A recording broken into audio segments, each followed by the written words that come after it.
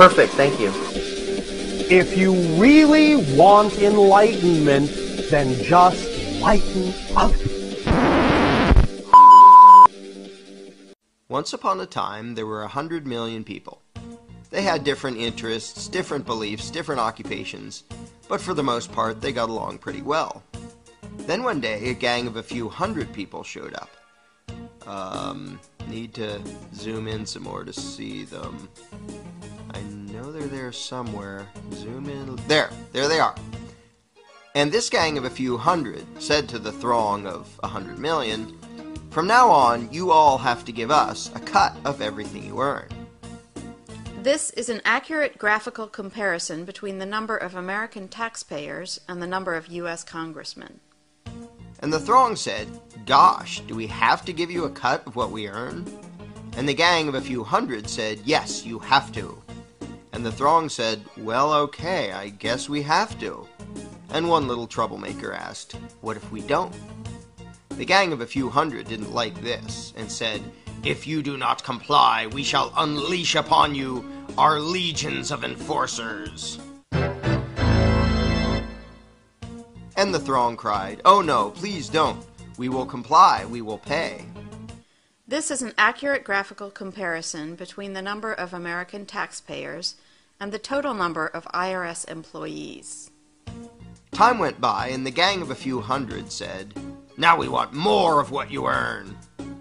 And this kept happening over and over again, until eventually some of the throng were paying almost half of what they earned to the gang. Whenever the gang demanded more, the throng would say, Golly, we're already having a tough time. Do we really need to give you even more? And the gang always said, Yes, you must, or we shall unleash our legion of enforcers. Now the gang of a few hundred was getting trillions of dollars every year, spending it on wars and pyramid schemes, giving away goodies to their friends, buying influence, and doing lots of other things. And some of the throng started saying, We don't really like the war you're waging with the money we give you. Do we really have to be paying for that? And the gang said, Yes, we demand it. Don't make us send out our legion of enforcers. And some of the throng said, You're taking our money and giving it to huge corporations and giant banks, and some people who just don't want to work. A lot of these things we don't like. And the gang said, We don't care. We will decide how to spend it. You just do as you're told, or else. And the throng said, Okay, I guess we have to. But eventually the throng got so fed up, so angry, that they took a drastic step. One day they said to the gang, We don't like what you're doing. We want a new gang. And after pouring a huge amount of time and money into the effort, they replaced the gang with a new gang. Then the throng pleaded with the new gang, Now, at long last, can we keep our own money, or at least keep more of it? And the new gang said, Sorry, but after much discussion, we've decided that you can't. You have to keep giving us what you've been giving, in fact, a little bit more than before. The throng was distraught and said, This is dreadful. But after all, what choice do we have?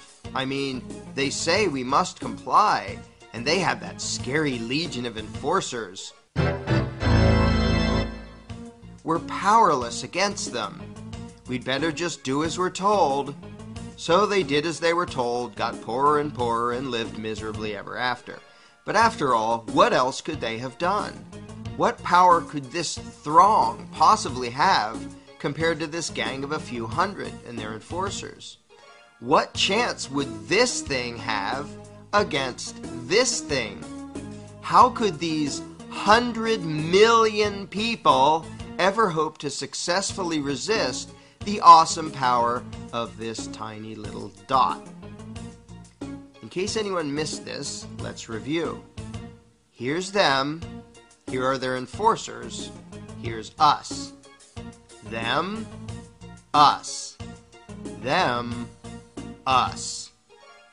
Does anything about this seem just a little strange to you?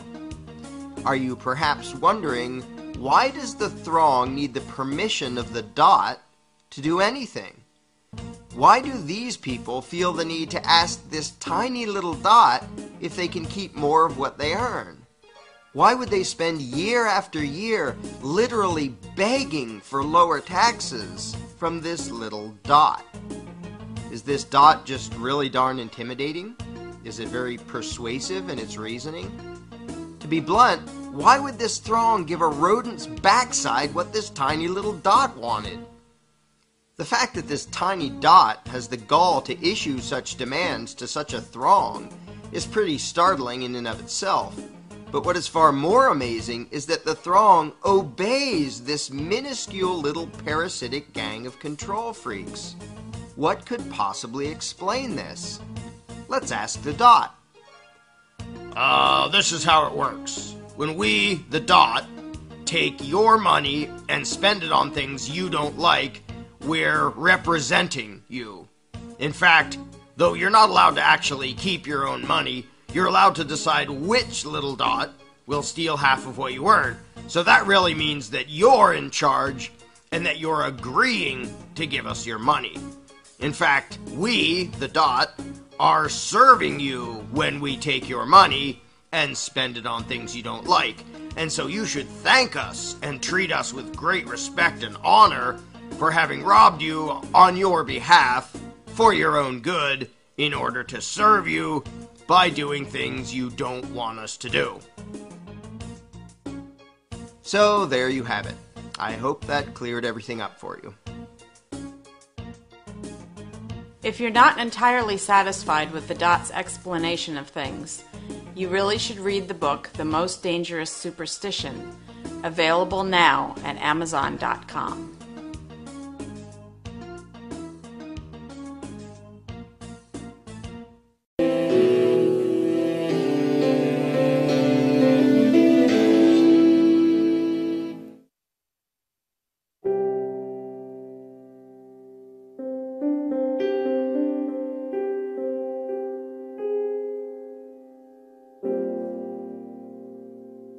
You cannot begin to imagine in how many ways the world is the opposite of what you have been taught to believe.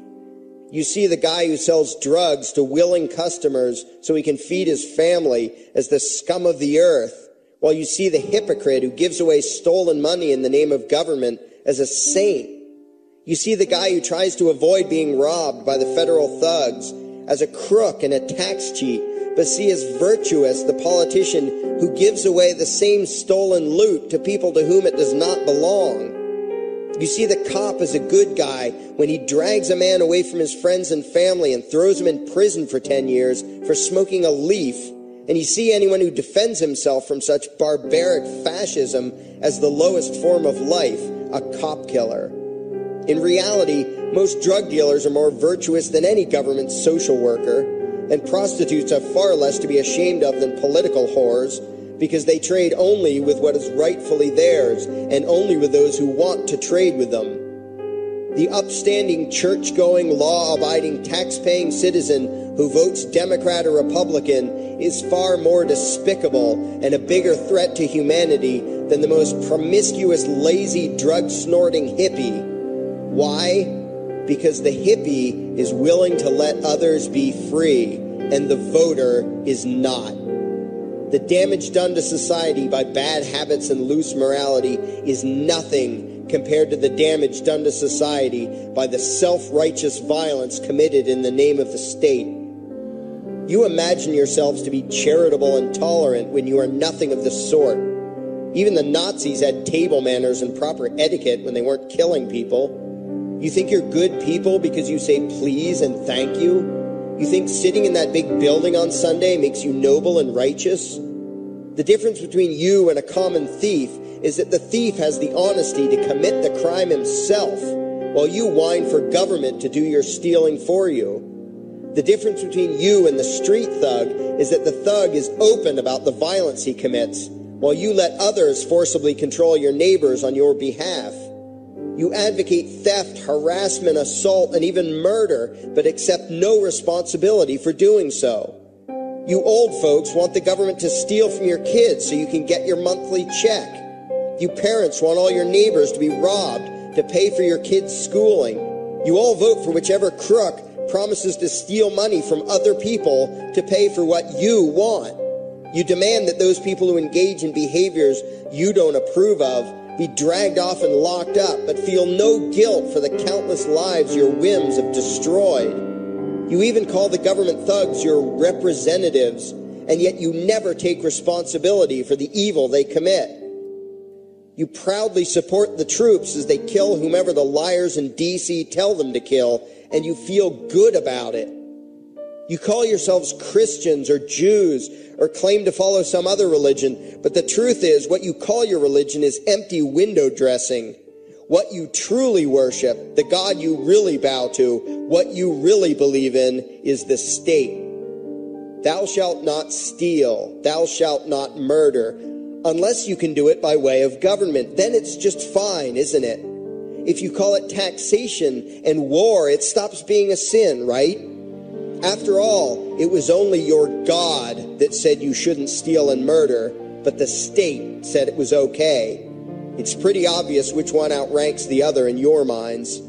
Despite all the churches, synagogues, and mosques we see around us, this nation has one God and only one God, and that God is called government. Jesus taught nonviolence and told you to love your neighbor, but the state encourages you to vote for people who will use the violence of government to butt into every aspect of everyone else's life.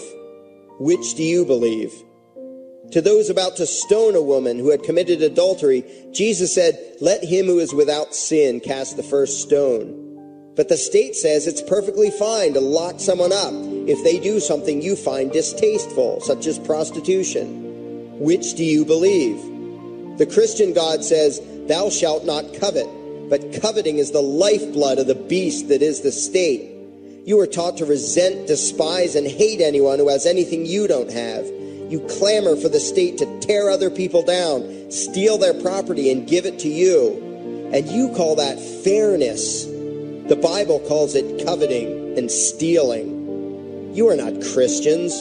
You are not Jews. You are not Muslims. And you certainly aren't atheists. You all have the same God, and its name is government. You're all members of the most evil, insane, destructive cult in history.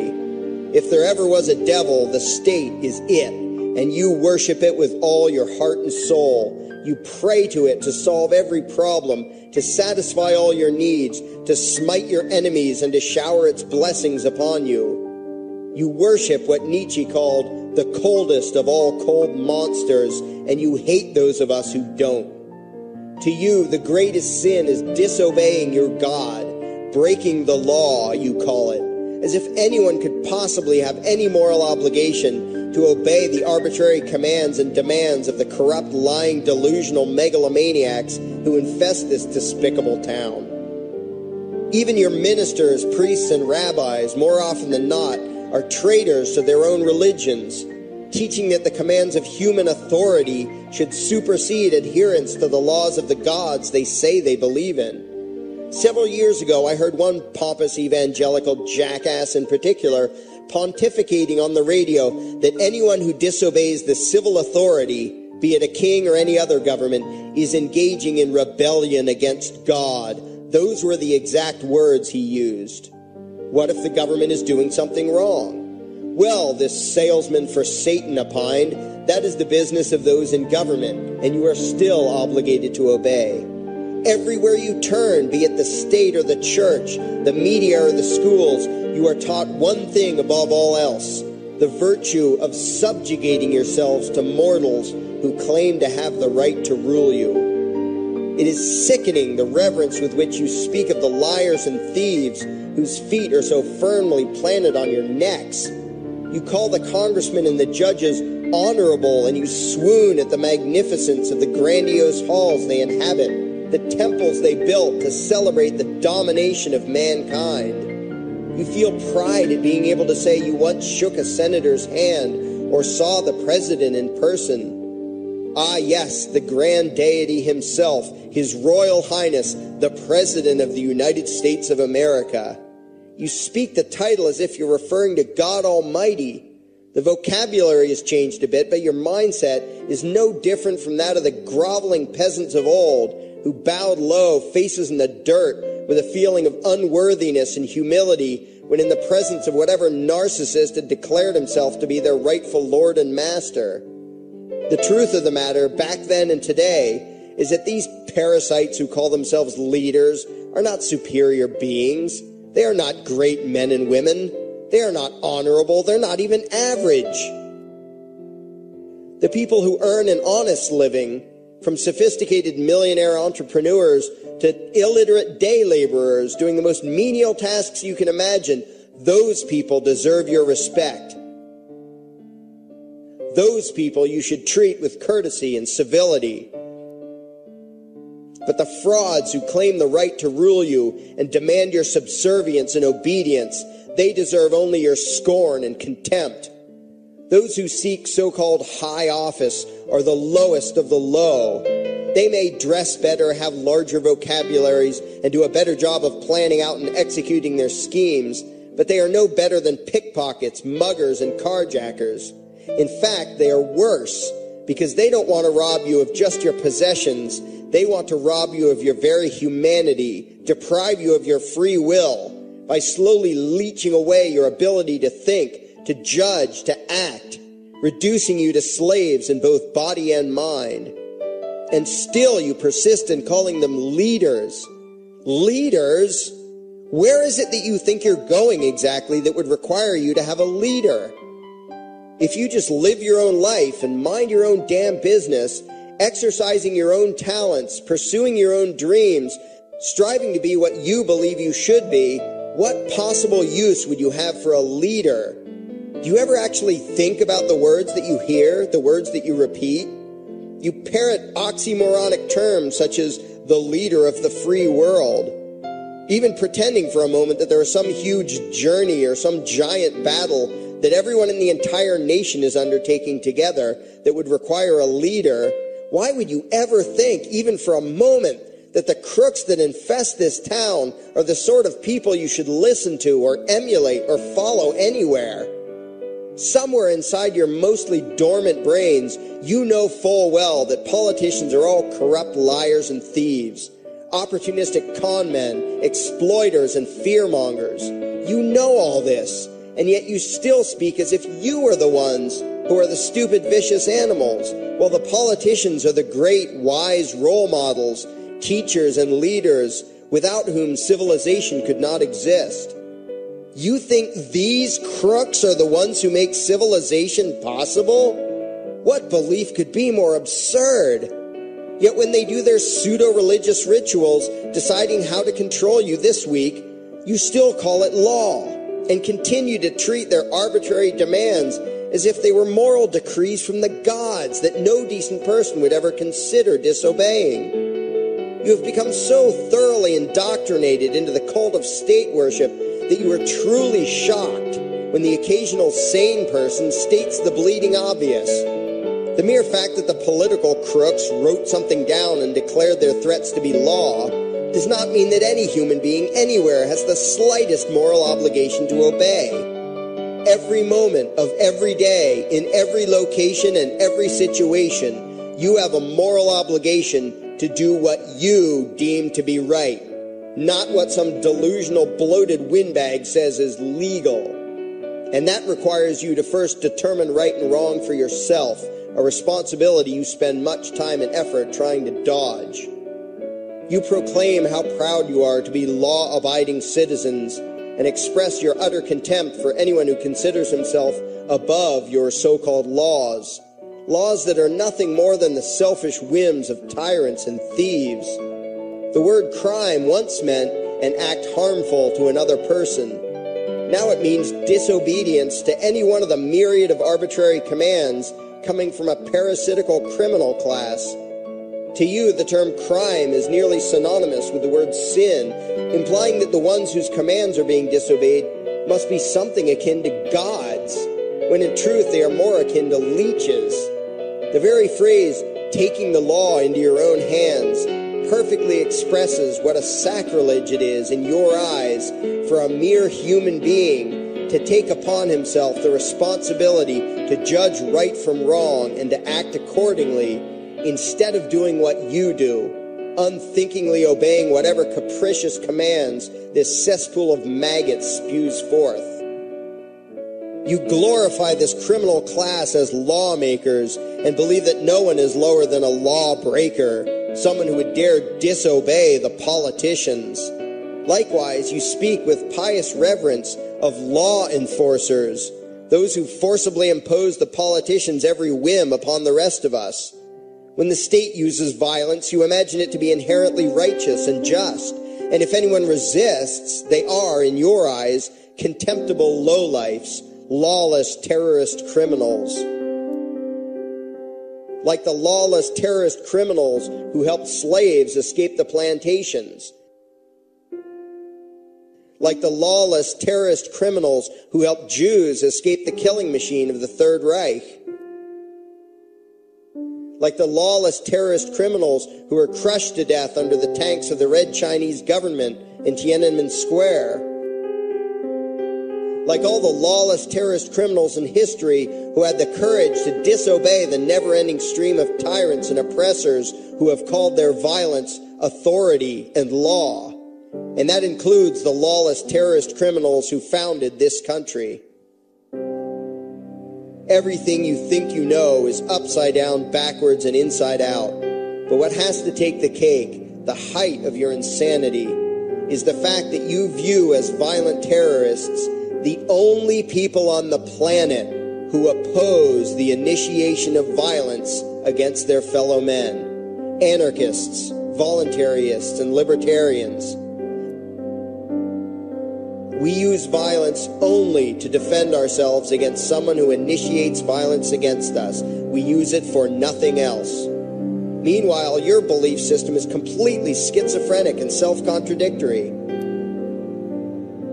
On the one hand, you teach the young slaves that violence is never the answer. Yet out of the other side of your mouths, you advocate that everyone and everything, everywhere and at all times, be controlled, monitored, taxed, and regulated through the force of government. In short, you are teaching your children that the masters may use violence whenever they please, but the slave should never resist. You indoctrinate your children into a life of unthinking, helpless subservience. You are putting the chains around their little necks and fastening the locks tight. And worst of all, you feel good about it. Out of one side of your mouths, you condemn the evils of fascism and socialism and lament the injustices of the regimes of Hitler, Stalin, and Mao. While out of the other side of your mouths, you preach exactly what they did the worship of the collective, the subjugation of every individual to that evil insanity that wears the deceptive label, the common good. You babble on and on about diversity and open mindedness, and then beg your masters to regulate and control every aspect of everyone's lives, creating a giant herd of unthinking conformist drones. You wear different clothes and have different hairstyles, and you think that makes you different. Yet all your minds are enslaved to the same club of masters and controllers. You think what they tell you to think and do what they tell you to do while imagining yourselves to be progressive, thinking, and enlightened. From your position of relative comfort and safety, you now condemn the evils of other lands and other times while turning a blind eye to the injustices happening right in front of you. You tell yourself that had you lived in those other places, in those other times, you would have been among those who stood up against oppression and defended the downtrodden but that is a lie. You would have been right there with the rest of the flock of well trained sheep, loudly demanding that the slaves be beaten, that the witches be burned, that the nonconformists and rebels be destroyed. How do I know this? Because that is exactly what you are doing today. Today's injustices and oppressions are fashionable and popular, and those who resist them, you tell yourselves, are just malcontents and freaks, people whose rights don't matter, people who deserve to be crushed under the boot of authority. Isn't that right? You bunch of spineless, unthinking hypocrites, look in the mirror. Take a good look at what you imagine to be righteous and kind. You are the devil's plaything. The crowds of thousands wildly applauding the speeches of Adolf Hitler, that was you. The mob demanding that Jesus Christ be nailed to the cross, that was you. The white invaders who celebrated the wholesale slaughter of those godless redskins, that was you. The throngs filling the Colosseum, applauding as the Christians were fed to the lions, that was you.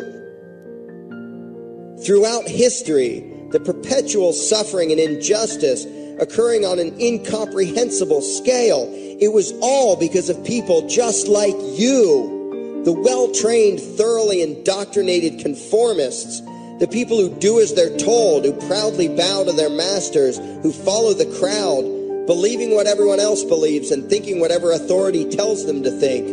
That is you. And your ignorance is not because the truth is not available to you. There have been radicals preaching it for thousands of years. No, you are ignorant because you shun the truth with all your heart and soul. You close your eyes and run away when a hint of reality lands in front of you. You condemn as extremists and fringe kooks those who try to show you the chains you wear because you don't want to be free. You don't even want to be human. Responsibility and reality scare the hell out of you, so you cling tightly to your own enslavement and lash out at any who seek to free you from it. When someone opens the door to your cage, you cower back in the corner and yell, Close it, close it. Well, some of us are finished with trying to save you. We've wasted enough effort trying to convince you that you should be free. All you ever do is spout back what your masters have taught you that being free only leads to chaos and destruction, while being obedient and subservient leads to peace and prosperity. There are none so blind as those who will not see. And you, you nation of sheep, would rather die than see the truth.